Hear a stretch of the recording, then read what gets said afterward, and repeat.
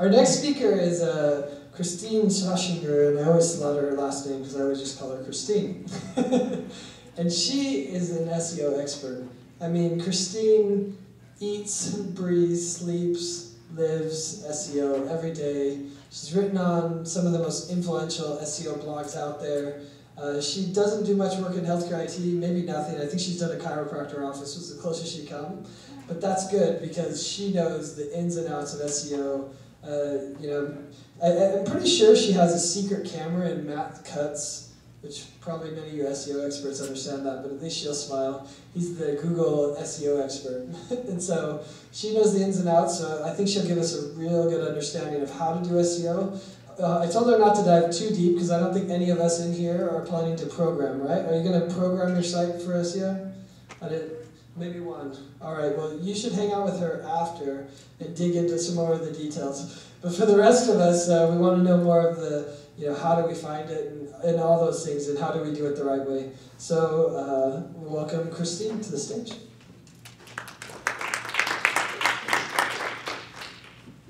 Hello, everybody.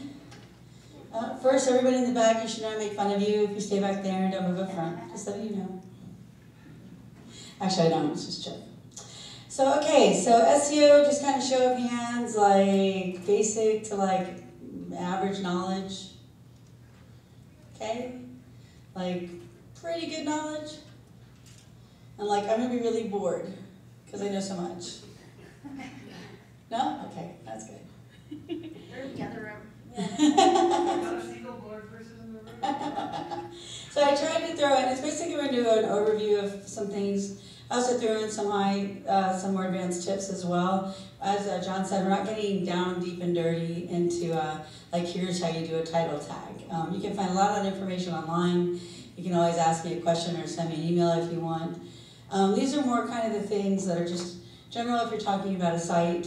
Um, the kind of current myths that are going around right now, uh, kind of some of the things you need to know, some of the very basics, and then some things you're never going to hear anywhere or see anywhere. So like, did you know that when you put a site on your DNS, on your hosting, that Google already knows you're there? How many people knew that? And that Google already finds you? So what's the only way to like hide your site from Google? No follow tag? No, uh, but good, good guess. Uh, a, a login. Since Google actually is a domainer and Google actually registers sites, the minute you put your site on a server somewhere, Google is already crawling you. So the only way you can hide your site from Google is to put it behind a login. If anyone tells you any different, they don't know. Okay, so we'll cover a little of those kind of things, and then we're just going to cover kind of the general hierarchy of things. Okay. Um, if you're in SEO, this just makes you laugh. I don't know why, it just does. If you do web or internet, something about cats and unicorns. And, uh, let's see, this is hard. Okay, so what is SEO? It started out as search engine optimization, which just meant we optimized things for the search engines. We kind of put them in the top position.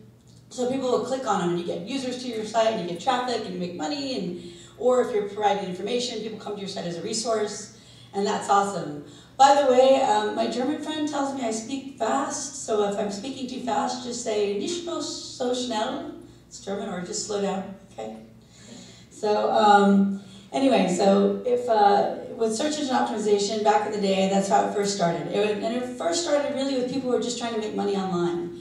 Google came out, Yahoo was there, and people were like, hey, I'm gonna make a lot of money, I'm gonna optimize these things for number one, and you're gonna buy like, you know, nowadays it'd be Viagra.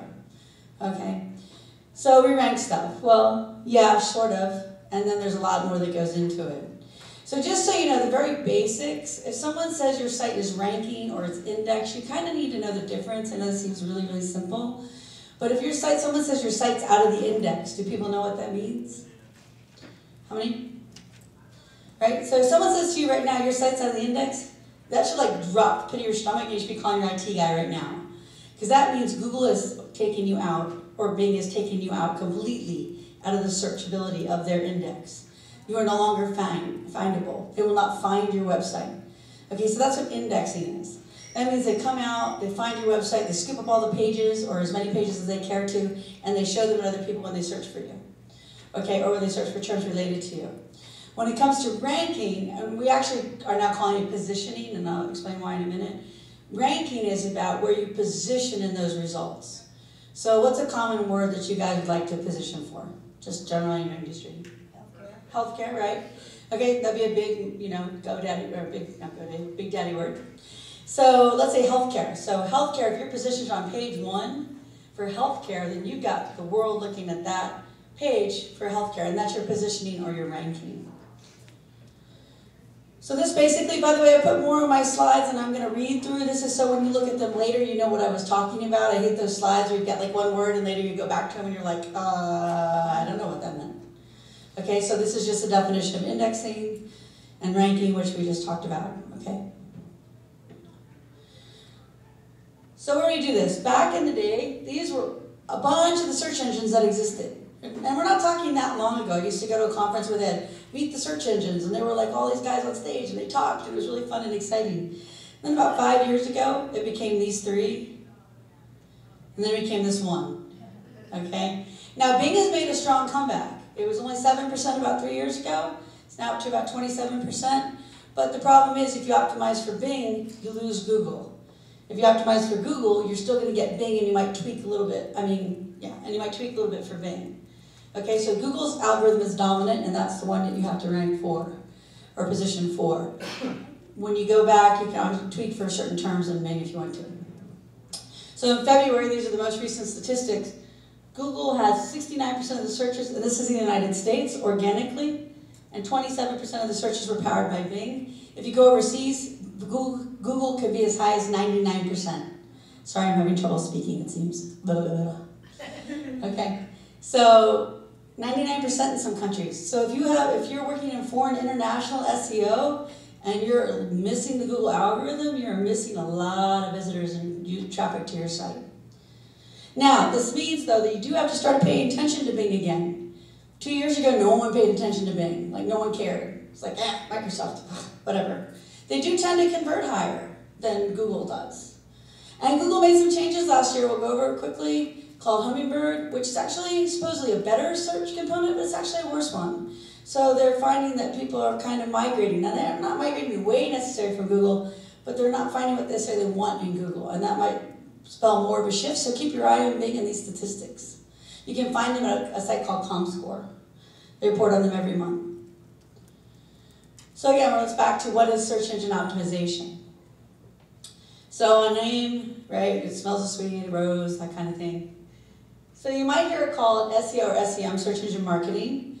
Also inbound marketing, online marketing, digital marketing, website marketing, marketing. There's like 5,000 terms you'll hear us call ourselves. That's because we don't actually have a name right now. Basically, whatever the agency decides to call itself is what it calls itself. Whatever it feels it best represents what it does, because there isn't a real way to represent it. Because we don't just position things anymore in Google and Bing and the search engines. Now there's a whole host of other things we do. So sometimes you'll see here people say marketing, multi multimedia marketing, web marketing. People outside our industry will say it's voodoo or magic or bovine feces. Okay? Um, it's none of these. Okay, I can assure you. There, it's an algorithm, it's mathematical. There are things we know. Google will not tell us exactly how they do things, but because it is a mathematical algorithm, there are things we do know about it. There are things that we can test scientifically. There are things we can check. Things that always happen, things that are core components.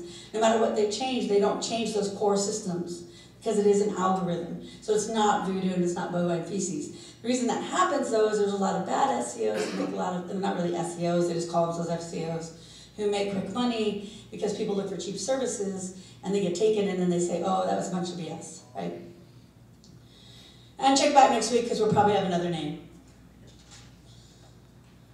So is this because we're crazy and SEOs just don't know what to call themselves and have like multiple personality disorder or something?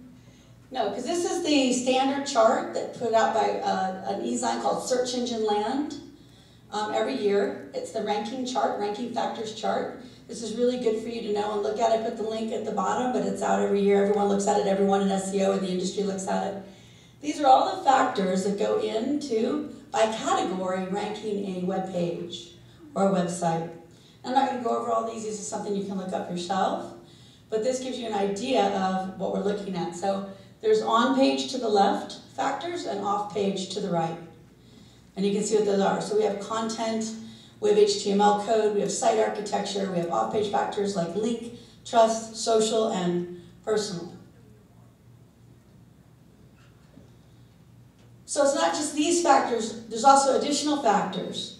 If two people from the same city but different IP addresses, right, look at the same thing, same keywords, you usually don't get the same results anymore, do you? Right? Do people know why that is?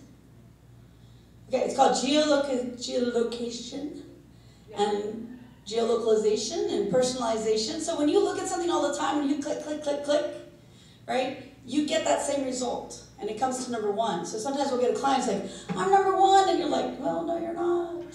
You just click on yourself a lot, and Google puts you number one for you. Okay? So also device type makes a difference. Are you on a tablet? Are you on a Mac? Are you on a PC? That makes a difference. So that's why we say positioning. You don't have a rank. If someone comes to you and goes, as, a, as one of what we do, and says, I want to rank number one, and you're like, okay, where? Would you like to rank number one in your city? in your country in your town on your IP address on somebody else's. How would you like that to appear? Because uh, would that be on a mobile phone? Would that be on a tablet? Which type of phone? A Mac? Would you like to be a PC? And what else would you like them to have looked at that's similar to you to be number one? There is no, no such thing as can absolutely, unconditionally number one result. There is a page of 10 results that mostly will be the same. Three or four results will be different based on these things. Geolocation, personalization, device type, these other factors. Okay, so what we basically do is bring you traffic, which equals money, or at least the right traffic. So a lot of ways people get taken when it comes to SEO services is they get lots of traffic, but it's the wrong traffic. So it's like we've had clients come in when we do a site audit and they're like, I've got like 10 million visitors a month. It really was a big company who did that. We're like, but how many clicks are you getting off that? They're like, oh, 0.5%. Like, well, great. So you've got really bad traffic coming to your site, and that can actually hurt you in Google. Because Google has a thing about relevancy, and if you're getting a lot of traffic but you're getting no click throughs, you're not relevant for that traffic, which can actually damage your site and lower you in the positions. So SEO, how do we define it? Uh, Matt Cutts. It actually looks better than that. This is a really bad picture of him. How many people know Matt Cutts is? Hey, someone in the back. You should know this name. Even if you're the only the person who hires SEOs, you should know this name. If you're only the person who's going to look at service issues, you should know this name. Matt Cutts defines what happens with the algorithm. He defines what happens to your website. Your website gets a penalty, this is the man who defined it. This is the man you have to go and beg to sometimes to put your website back in the rankings. He's the one who's the public face of Google's web spam team. His whole job is to fight spam at Google. Now, people forget that Google has a product, and their product is to make sure that they deliver relevant content to you, the user. So if it's filled with spam results, then that's not a good product, right? So his whole job is to make sure that the site, the rele- there's relevancy there, and to get rid of the spam results. So you don't wind up with like porn and Viagra. He actually wrote the algorithm that got rid of porn at Google. No joke. He's not worth a lot of money because he did that. It's like employee number 63. Super nice guy though. Like he'll come to PubCon Vegas here walk around, give you a hug. He's like, good guy. Um, so, anyways, he calls it search experience uh, optimization, and I think that's probably the better term right now. And that's just what are users experiencing when they're coming to your website. If it's good for users, Google usually thinks it's good for you. And you'll hear him say that over and over again. He also has a webmaster channel where you can ask him, where people ask him questions on YouTube, and you can look them up, and he shows videos and he answers questions. So it's a really good resource, Matt Cutts' uh, video channel for webmasters to like go and look up things. Do you have do you have a question? Something happened to your website? Somebody's telling you something. You're hiring somebody. You're not sure. Go see. Did he answer that question? Because if he answered that question, then that's the answer. Now he also says things like, "Don't use links." Right? Don't don't build links. Well, eh, you know he doesn't want people to build links. We build links. There's reasons for that. So you can't take everything he says as 100%. You can't do. You have to know how to read what he says. But he is the one who makes the rules. So SEO is which part of these things? Anybody want to guess? What's that? Yay! right. It's all of it. So it's part of your hosting, your site setup, your platform choice, your content management system, how you design your site, your site code, everything that's on here, your content choices, your authorship, and more, of course. Everything's on here is part of your SEO value of your site. Also, these fall into play as well. Your press releases, white papers, newspaper mentions, articles, interviews, industry publications, citations, where you're located on the web. By the way, a little tip make sure that anywhere your named reference, address, phone number shows up, all these are exactly the same. You will rank differently on local results, or you rank differently based on those things. If those are not exactly the same, your phone number is different, your address is different, then you will have a different ranking result in local or, or in the universal search for local geo. Meaning that if I'm in Vegas and you're in Vegas, even if it's not a local result, like a Google Places result, but you want people to find you in Vegas, those things don't match up, you'll have a lower level um, score in the algorithm if those don't match. These are also all link building opportunities, and that's why they fall under SEO. Okay, you can't go out and buy links. Right now, they're homeling sites. We never bought links, that's not what we do. We always build them naturally, but people do. You can't get away with them anymore. So these are all link building opportunities. You should have an SEO that helps drive you and make sure that these are matching up with your website goals. So while your website is still a thought, or any new part of your website is a thought, or anything you're doing on your website is a thought, your SEO plan should not be. So your SEO person or company or agency, whoever you're working with, should be there from day one. You shouldn't have hired anybody else, not a web developer, not a designer, not a site architect, nothing until you got the SEO in place. Because that person is drive everything that you do. The way you place your address on your site makes a difference. How many graphics you have above the fold, quote unquote above the fold. Google has an above the fold definition on your website. That makes a difference. How many ads you use is actually a penalty if you use too many. Use too many graphics above the fold, it's a penalty in Google. Right? So you have to make sure that you have all these things in place. You want good links back to your site. You want that SEO orchestrating this plan for you right? To make sure that when that press release goes out, it matches that social media, it matches a page on your site, and that those things all come back to you. But that they don't use too much anchor text because if you do that wrong now, it's a penalty. And why is this so important now? Because about 18 months ago, Google started hammer, bringing the hammer down on websites for penalties, and they created new ones. And now it wasn't just about who's scamming Google, it's about making sure everything's quality and Google's quality. And Google are the police, and we have to play their game. By the way, we have plenty of time for questions, but if you have any in the meantime, feel free to raise your hand. So how many of you heard links are dead? I had someone call me and say, I'm ranking number one for everything. This is just like two weeks ago. And I but I, I fired my link builder because I heard links are dead and I shouldn't make them anymore. And I'm like, are you kidding me? Really? You got rid of your link builder who's got you ranking number one for everything that you need to rank for and because you heard links are dead? He's like, yes Like, okay, that's really bad. You don't do that. Links are not dead. Links are not come out of the Google algorithm, okay? Bad links will get your site in trouble. How many of anybody admit to a penalty here? On a website that they run, own, or know? Of course, it wouldn't be yours, it'd be someone else's, but yeah. Anybody have a link penalty? Maybe? Yeah. So links are what they're really coming down on right now. Uh, my blog, uh, my guest blog network, my podcast, the person who runs that was on a panel with me as her network was taken down. Like that day. She woke up, Matt Cutts wrote a tweet taking down MyBlogGuest network today. She's on the panel next to me. I'm like, yay. awesome. This isn't awkward at all. That's her entire life, right? Her living right there. Right? Matt Cutts, head of Google, just took out her whole network because he doesn't like the links that come from it. So they're really coming out. By the way, she took it, handled it very, very well.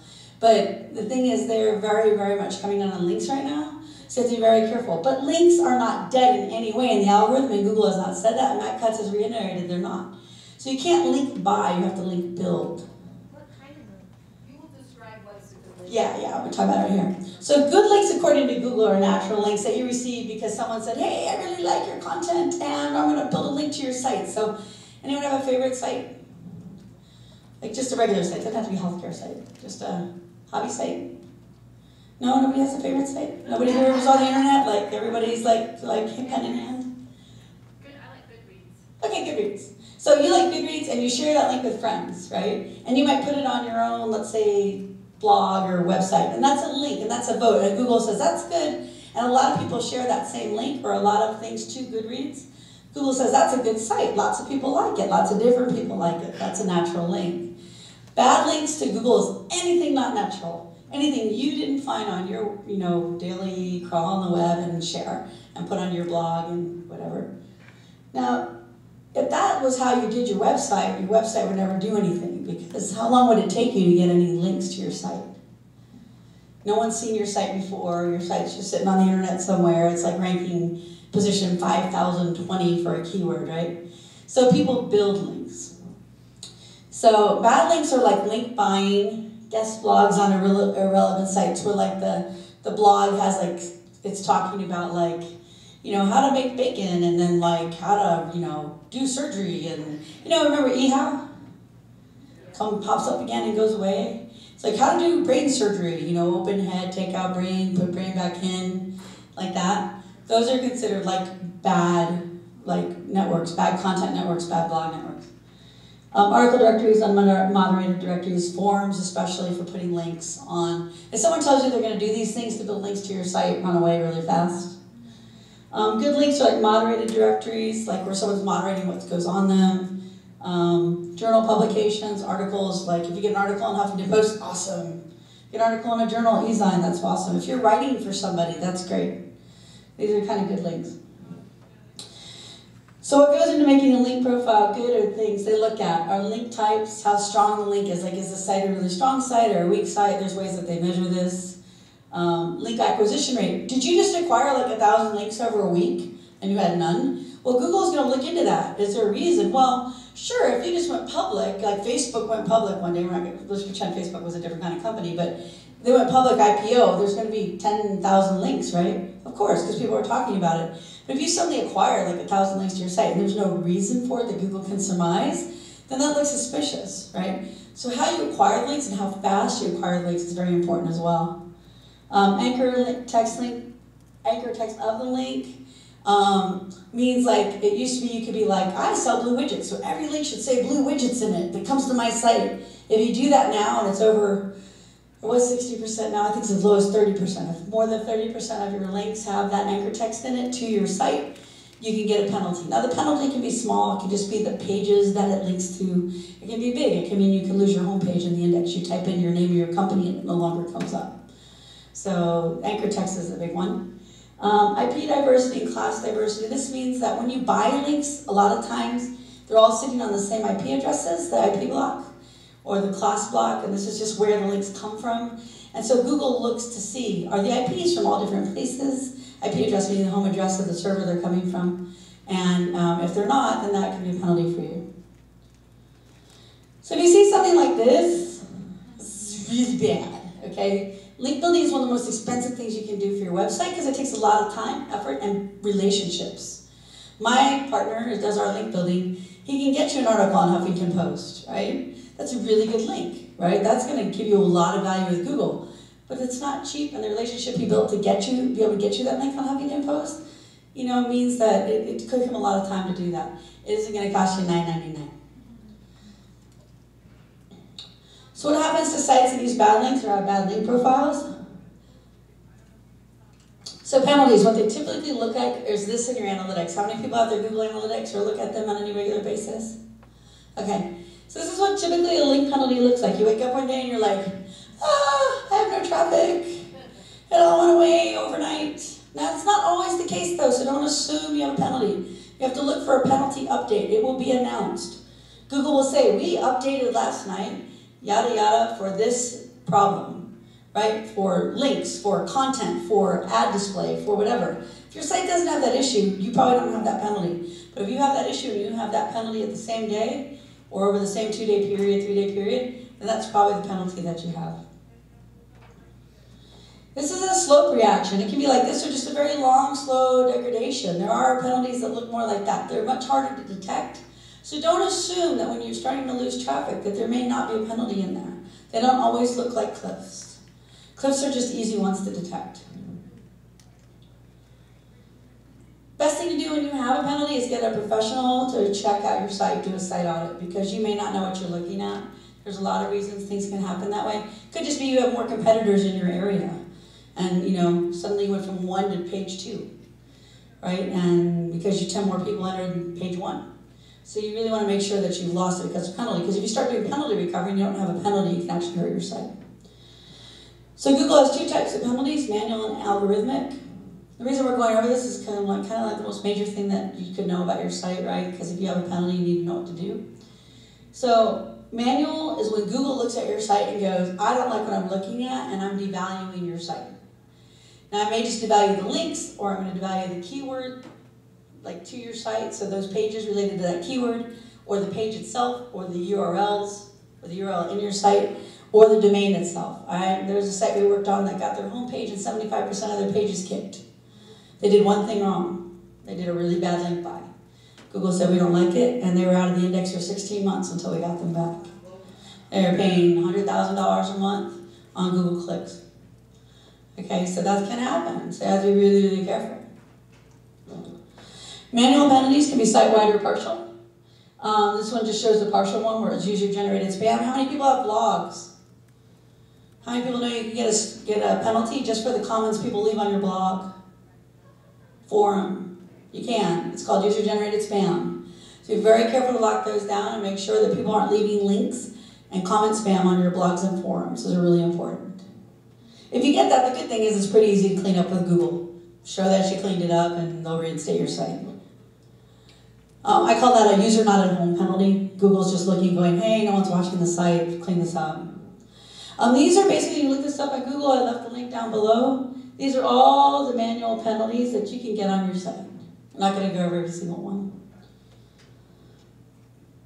Manual penalties recovery is a little bit harder because when you have to recover from a manual penalty, the good part about it is you know pretty much what's wrong and what to do to fix it. The hard part is you have to submit to Google and it's under Google's good graces that they decide to return your site or they decide not to. This is also where it helps to get an expert involved because we do this all the time. We have a pretty good idea how to get you back in. We got the person that was kicked for 16 months back in in three. Google didn't return their homepage, so it took us another three months to get their homepage back. Right? So these are things we know how to do that maybe a regular person will not know how to do, and a regular, you know, just doesn't experience this every day. Algorithmic penalties are when Google algorithmically devalues your site. Now Google likes to do the algorithm more than it likes to like go and like people think Google likes to just slam people like, oh yeah, I feel good, but they really don't. So the algorithm is a way for them to be neutral. They send out the mathematical thing and it goes to your site and you did something wrong and the algorithm slaps you. Well, it doesn't matter who you are, right? Because you can't come back to them and go, Google doesn't like my site because I sell cookies. Right? Obviously, there's more political reasons that you could say. But Google, you can't come back to Google and say that. It's an algorithmic penalty. You did something against the algorithm. You can't come back to them and say they, you don't, Google doesn't like you. So they like the algorithm. So the algorithm comes out and it makes what we call devaluations or we call Google shifting, algorithmic shifting. Um, sometimes it's not a direct penalty, that's the slope thing where you just shift it downward from Google from the algorithm. Again, this can be at the, cool, the keyword page or our domain level.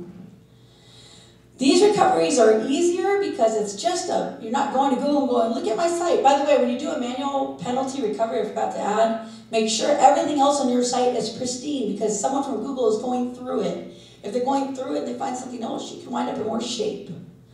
Right? So, but with an algorithm penalty, that doesn't matter. Algorithm and algorithm is an algorithm. You just fix it and algorithm comes back through and it fixes it for you. Problem is you can wait a really long time between the algorithm changes. So here's Matt Cutts. Matt Cutts puts out tweets. Follow him on Twitter if you're on Twitter. He'll tell you when these penalties are coming out and who they might penalize. It's kind of fun to watch, you know, if it's not you that's getting penalized.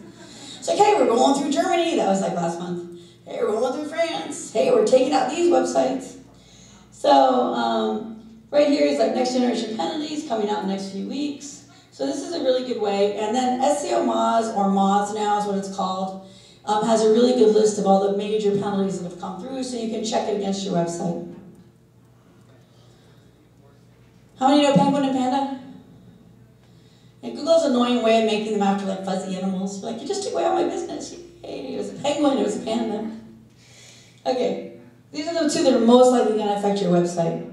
This just gives you a real quick look. You can look online for these timelines. I'm just trying to show you that how quickly it kind of rolled through over 2011, 2013. Panda no longer comes out as a rollout. It is in the algorithm. Panda, Penguin is your link or over optimization penalty. Panda is your content quality or thin content penalty. So if your content is not good, uh, it's not high quality, it's too thin, or there's too few words on the page on average on your website, which means under 600, um, Panda will come along and take your site or your site pages out. Panda is now rolled into the algorithm. There's a few tweaks here and there, but basically it just comes along whenever the algorithm is around your website. So you might see a devaluation of your pages, not an actual penalty cliff. Can you get hit by two penalties at once? You can. This is where they attack teamed, like in a couple of days. Right? You can get hit by a manual and an algorithmic penalty in the same week. We had a client that that happened to. We have one client, big brand, this would only happen to a big brand, has 18 warnings and penalties. Now, if you're a small site, you'd be gone after two. You wouldn't be in the index anymore, but they're a big brand, and there are lots of reasons behind that. But So penalties, how do they work? You look like this guy, because you woke up and this is what your site looked like. Because you were very bad, you bought spammy links, and see how the curve went after the penalty, after the algorithm rolled through. So Google assumed you were using black hat techniques. Does everyone know what black hat is? No? Okay. So real quick, there's two things that you use outside the industry. It's called white hat techniques and black hat techniques. White hat is basically everything Google says is okay. Link building is what we call gray hat. It's not really, Google doesn't say it's okay, but it's not really wrong. Black hat techniques are when you're doing things to like game the algorithm. It's not wrong as long as you're told that the risks and what's going on. It's, it's not like an ethics issue unless I do it to your site and no one told you that you could lose your whole site in the process. My suggestion, never do black hat on your main domain. If you have a cash register site, that is not where you do black hat. You build mini sites and that's where you do black hat. Okay, so black hat techniques allow you to rank like really quickly. Like say you have to do the Christmas season and you just roll out your company and you're like, it's September, we don't have time to rank. You might build some mini sites and you might get your business that way and do some black hat techniques in the same time period, right? Buy some links and get those things up there and whatever. But those sites will get burned. If you're doing black hat, the chances of getting burned are probably like 80 or 90%. Never do it on your main domain. No matter who tells you that they can do it and do it really well. If someone says, I can rank you in three months at number one, their chances are they're going to do black hat and not tell you. Okay, so be careful with black hat. So what happened? You received a penalty at Google. What do you do? This is really simplified, just giving you an idea. So if you have a link problem, there's two things you have to do. You have to audit your links, then you have to remove them. You have to actually go to the websites where those links are and say, please, please, would you please take my link off your site? They actually charge you for this in a lot of cases. So it might be better for you to ask somebody who does link removal as an SEO to get these sites removed. They often have relationships, things like that. Um, but you want to get up to 60% link removal of your bad links. Not all your links, but of your bad links. Uh, Google usually, um, sometimes you'll see stories where you didn't have to do that, but that's when you usually just had a few links that were bad. But if you really got slapped for bad links, look at 60% link removal before you get to what is called a disavow. The disavow list is where you go through and you say, I say all these links are bad. This is my list of links that I don't like, that I don't want pointing at my site. Do know once you disavow a link, that domain, that link is burned if you disavow the whole domain, that domain is burned for you. You can never use that link again. Google's going to put it on a blacklist. Now, it's not going to necessarily put it on a blacklist just because you did it. It's going to compare it against others, but it's on your disavow list, which means you can never use it again. So don't just let someone cut through and give you a dis- do a disavow list if you haven't reviewed it, right? Because you may think no, a site's good, and someone else may think it's bad and not know. Okay, so disavow list is you telling Google I'm disavowing these links. I want nothing to do with them. They're bad links. Someone pointed them to my site. I had no idea. I did not link buy. Really, I didn't. Right? And sometimes you didn't. Sometimes someone pointed bad links. Sometimes there's just bad links. Every site has bad links. If your site has no bad links, that looks suspicious too, because every site does. But you do want to make sure that when you disavow, you do it correctly. Um, by the way, you can submit a disavow even if you don't have a manual penalty. So you're supposed to only do this if you have a manual. But you can submit it ahead of time. You just notice bad links to your site, you did an audit, you're like, oh, I don't like these links, they scare me a little bit, I don't want to get a penalty. Go ahead and submit. Because the truth is, what this really is about is Google could only find so many spammers. and link sellers, and they needed a way to find them. So they created this list so everyone would report them, right? And then you'll see like about once every three months, Google takes out another massive link network. How did they find them? Found them through this. Okay, what's that? Yeah, that's exactly what they, that's exactly what they did, right? But it helps you in the meantime if you have a problem. Uh, when you have an algorithm penalty, you wait for the next Penguin update. Notice how it goes back up because they fixed everything and whoop, it goes back up. But they also had to wait from April until October for the penalty algorithm to go back through. Algorithm penalties will not improve until the algorithm returns to your site and is re-released. Penguin is a re-release. Panda comes around all the time now, so Panda you can get back pretty quickly. Uh, reconsideration summaries. This is on manual penalties only. This just shows you that you go to Google and you beg. Three things about reconsideration summaries, if you have this issue, is that um, you want to make sure they're detailed. You want to make sure that you uh, tell them how you're not going to let it happen again. And you want to tell them how sorry you are that you hurt the mighty Google. I'm actually not kidding. It really seems to work. Like, I'm really, really sorry. We didn't mean to be bad. So some more missing facts. So content only approach. How many have heard if you build content, they will come? Right? All you have to do is build content. Everyone will come to your site. You don't need links. Right? Everyone's heard that? Okay, that's bovine feces. Okay? Because they're not just going to come because you build great content. Has anyone tried that approach? The site with 18 warnings and penalties, by the way, tried that approach. Okay, so one, if all you're doing is building great content and not paying attention to other things, you can overlook things like penalty issues. Second, if all you're doing is building great content, so is everybody else that's in your market if you're competitive. So you're not going to just rank because you're building great content. So just real quick though, when we're talking about content, so you still need your links, you got your content, five qualities of great content. Not just going to go over every detail here, but a couple key points. Make sure it's over 600 words on most pages. Okay, so you get a few, you know, quick blurbs here and there. But your site, if you're doing content, make sure that your content's over 600 words. If your site and you're like, we have no reason to have content, find a reason to have content. Every site can find an interesting reason to have content. We just did a loan site. We did lots of information on loans, right? We have a site that's all social sharing. So we're going to do a section on how to make good social sharing, how to make good pictures, how to make good, find a way to do content, unique content. Google wants information to share. Uh, if you're marketing and all you're doing is you have ads on your site, then go PPC. Okay, you're not going to compete in this nowadays in, at Google if all you're going to do is show like, here's my big form for people to buy from, because Google doesn't care. Right? They don't care what you have to sell. They want to know what you have to offer the user. Content research is about keywords, how people find your content, including variations. So, how many people were upset when they lost their keywords in Google Organic? Nobody? Or nobody noticed? I was bothered.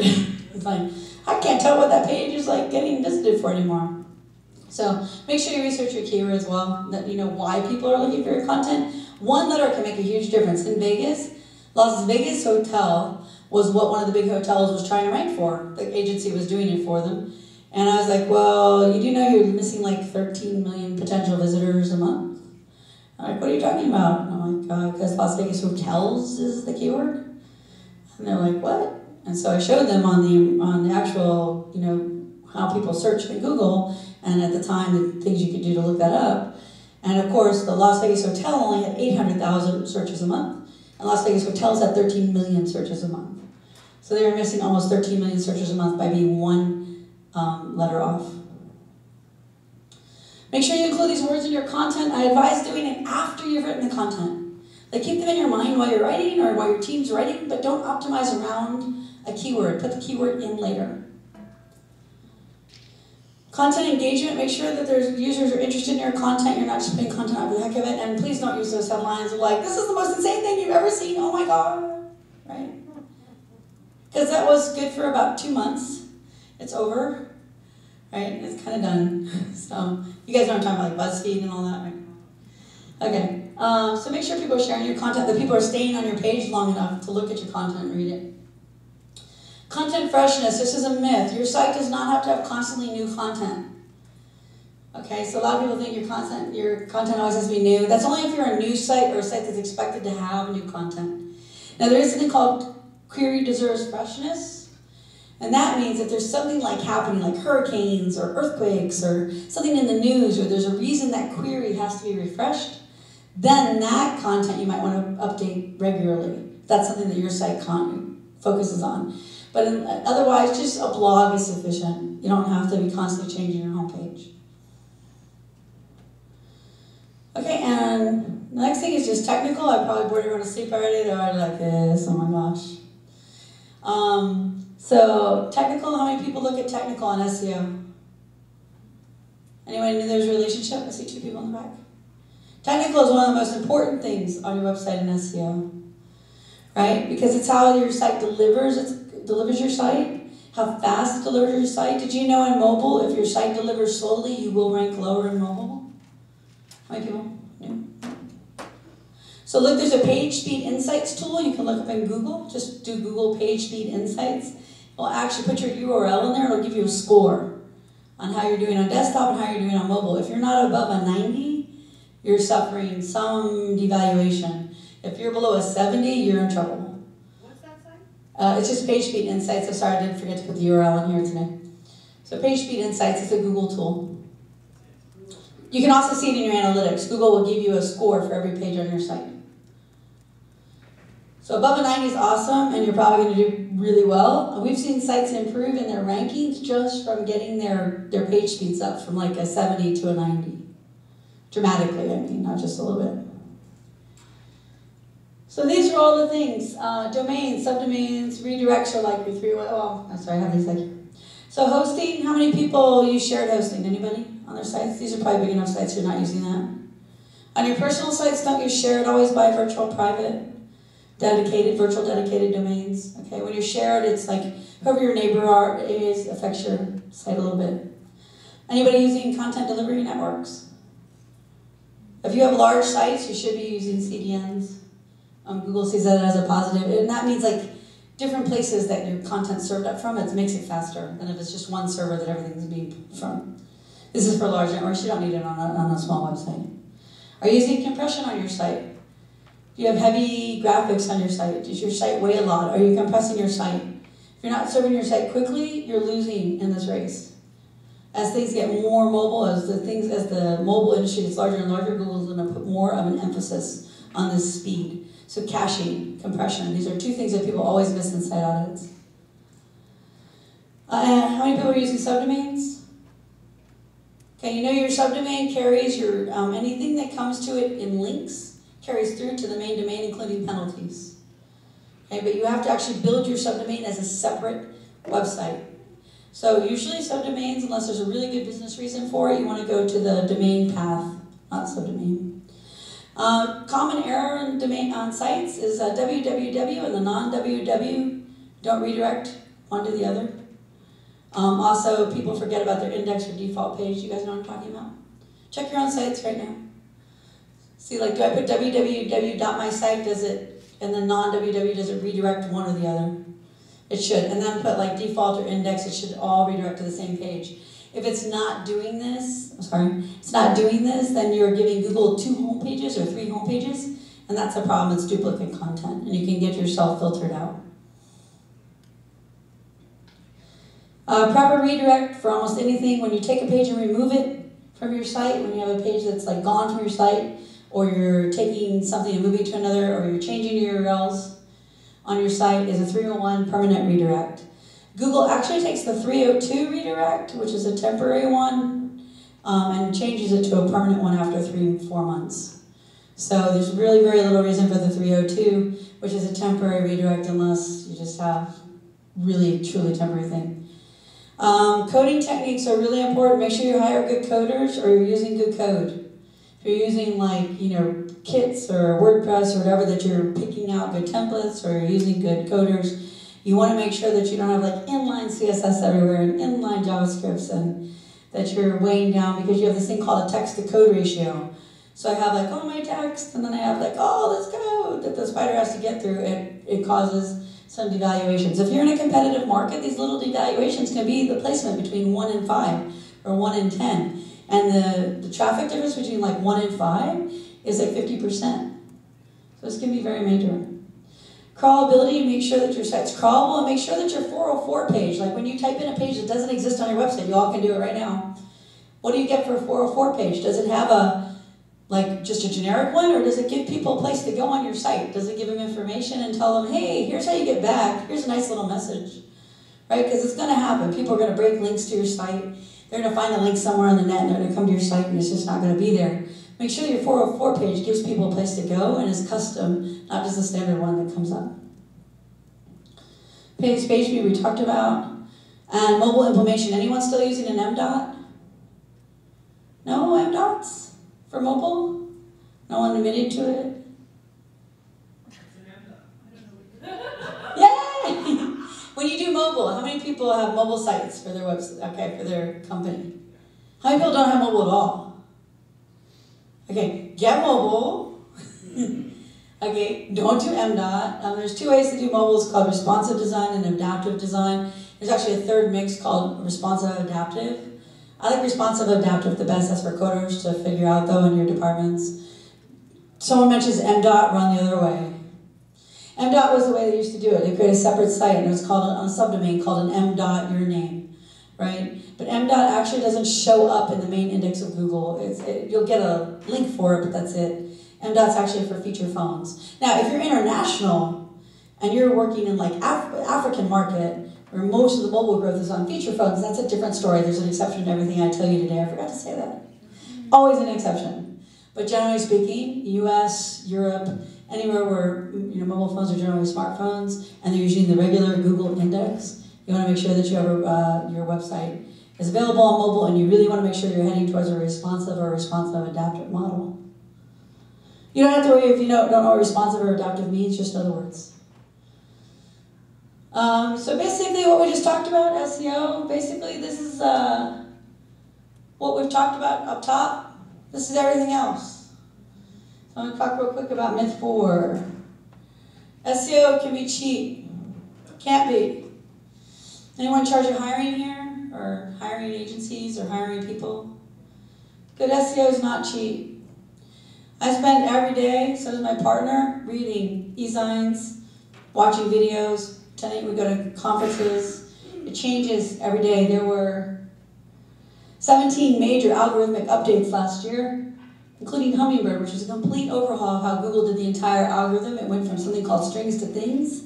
So it no longer looked at words, it looked at objects. This is a debate on if this is better. I say no. So if you put in an object it didn't understand, it didn't bring up anything. Has anyone done that where you put in words and Google just like comes back with a kitchen sink of you're like, what is this? Anybody? No.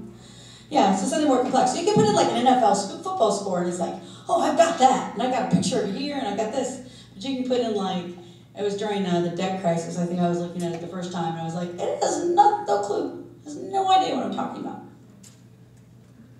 It's gotten a little better, but it's not great. So um, the Hummingbird algorithm changed everything. Um, on an average, there are 50 smaller updates per month, 50 to 80 per month on the Google algorithm. Google added last year an advertising penalty, a display penalty, and added page speed into the mobile algorithm, moved Panda to the main, added Hummingbird, penalized guest blogging and article directories, and the list goes on from there. So if anyone tells you, comes in and says, I can do your SEO services for cheap, they're not going to do good SEO for you, or they're lying. And when you're hiring people, if you're hiring people for as cheap as you can get them, that's the SEO you're going to get. Because keeping up with this stuff is a 24 hour day job. Not saying that because I want you to go, ooh, but just saying so you know. Could you explain what guest blogging, why would that be? Yeah, well, a lot of people are asking that too. because because if there's anything that's done in the, one way, the people that like to make money find a way to create a kind of spammy way to do it, right? So the guest blogging got out of control, according to Google. Again, this is all according to Google, not personally my opinion.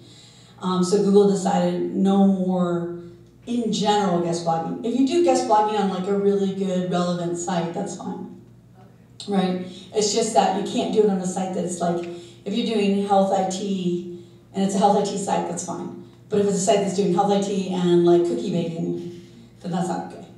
So those are the sites that get slammed.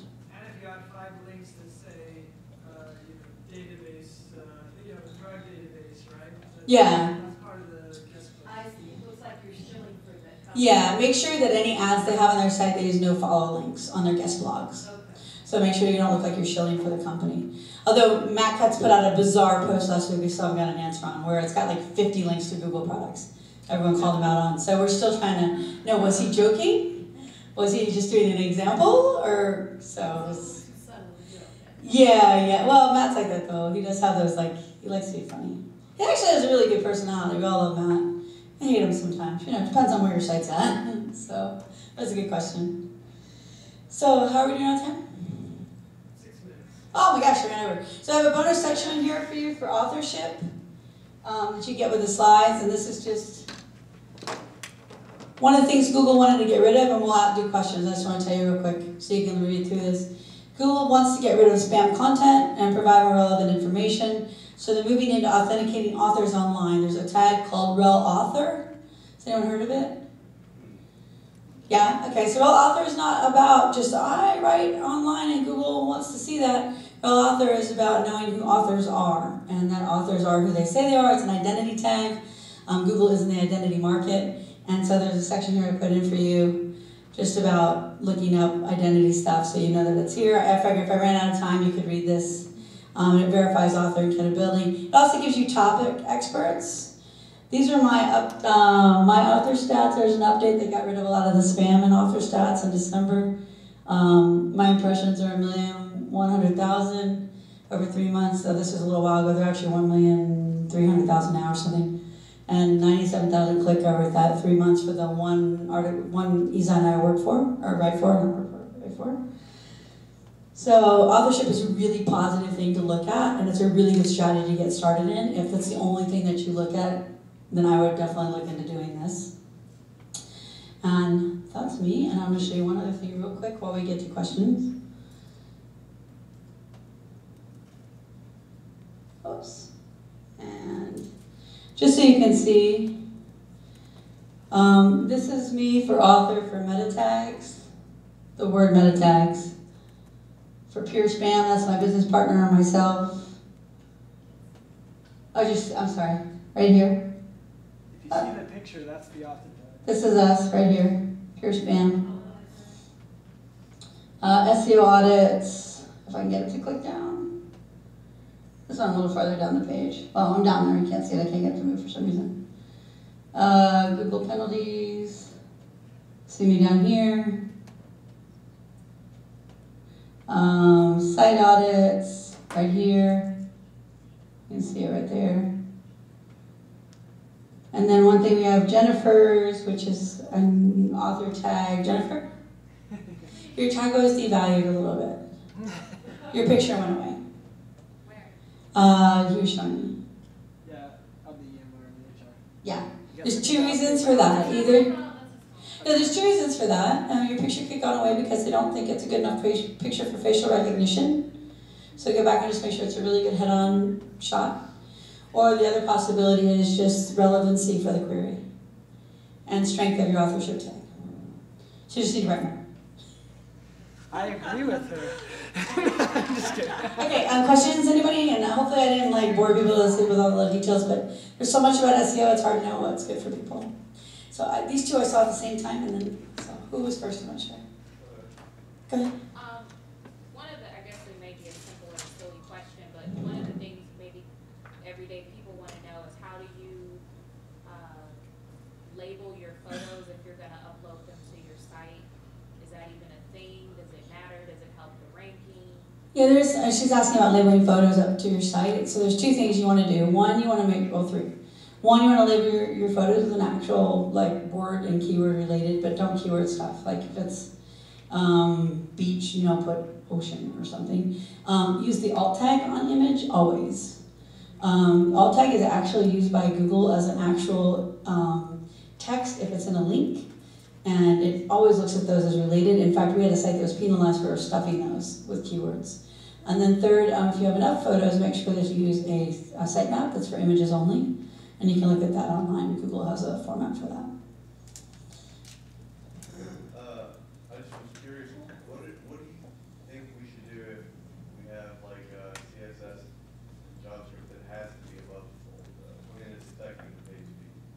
Um, then just make sure you put them all in one file um, or, or, combine them as much as possible. So a lot of times we'll have like, or oh, not even templates, just devs wind up with like 20 files, 20 references. Just narrow them down as much as possible, minify and, and uh, compress. Um, you're not really getting penalized as much. Google always puts that in the page speed insights. You're not getting big penalties for that. So um, usually uh, with the with the slowness is for things like caching and compression, um, images especially. So How do you know, I, I have no idea what you've said. that's always what a speaker wants to hear. Well, And that impresses me, like, you, you don't even know. But I have an SEO company, how do I know they're doing all the stuff you said and they're doing it right? Hire us to audit them? No, I'm kidding.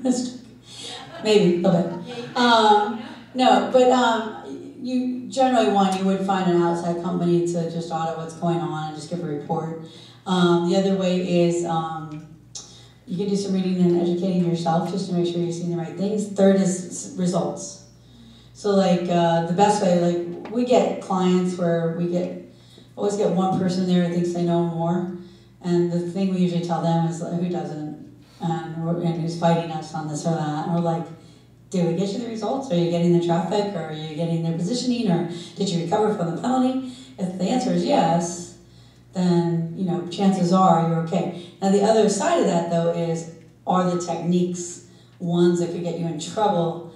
The only way you're going to know that is if you get another agency to to um, to audit that. Now the best way to do that to find a good one or reputable one is look for ones that um, look on Lanyrd and look for people that speak at the SEO conferences. We all know each other, um, and uh, so the you're not going to if someone's speaking at those conferences, PubCon, um, SMX, um, SES. Those are the three main ones. There's offshoots, but those are the three main ones.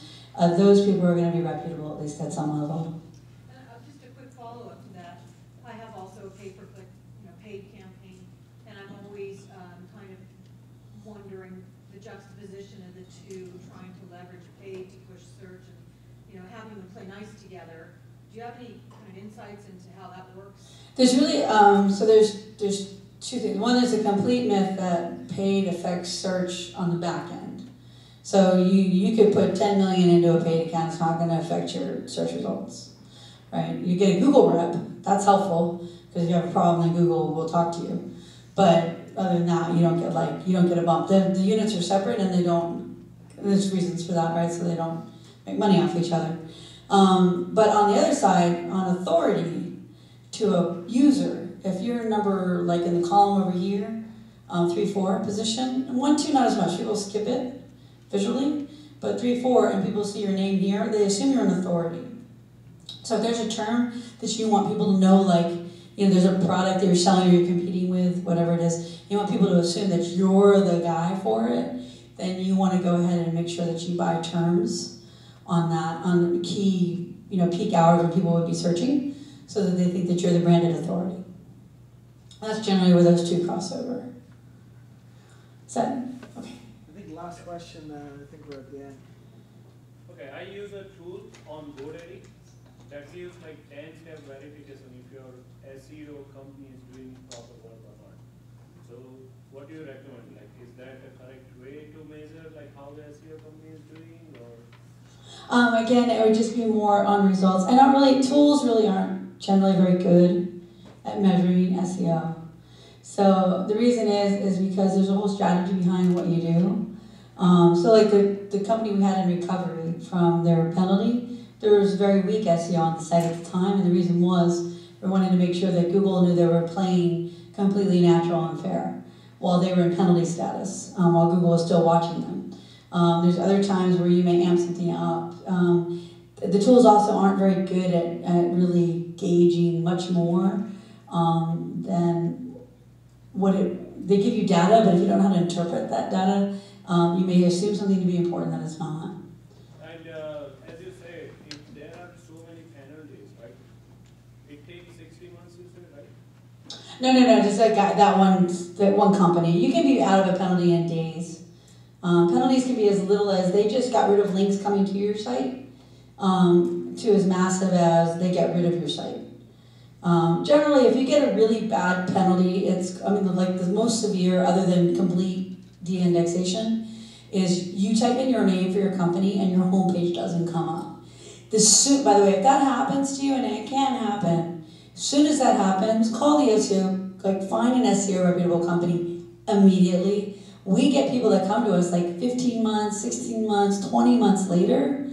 Well, that penalty is so set at that point, it takes six, eight, ten months to get that site back. Because the longer a penalty sits, the longer Google will, it will take in Google to get it back. So the minute you have it, also if you make a mistake, let's say you put a no follow on your site, or no index, I'm sorry, de-index. You no index your site, you de-index it, right? By accident, it's happened. I'm sure people have heard of that, right? So you do something major on your site, you make a major mistake. Google has this weird little window, and I cannot, you'll never find anybody writing about it, of like 24 to like 48 hours, where I think it's just called the oops, I'm an idiot, right?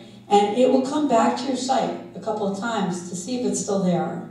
So if you've made a major mistake, if it's Friday night and it's 2 in the morning, you're at the best part of your entire life, sorry, get in your office and fix it.